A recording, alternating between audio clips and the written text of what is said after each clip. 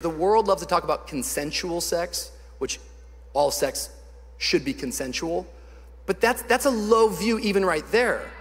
Because we're not after consensual sex only, we're after committed sex. Can you imagine the, yeah, can you imagine the world that we're living in right now where there has to be a discussion if it was consensual or not?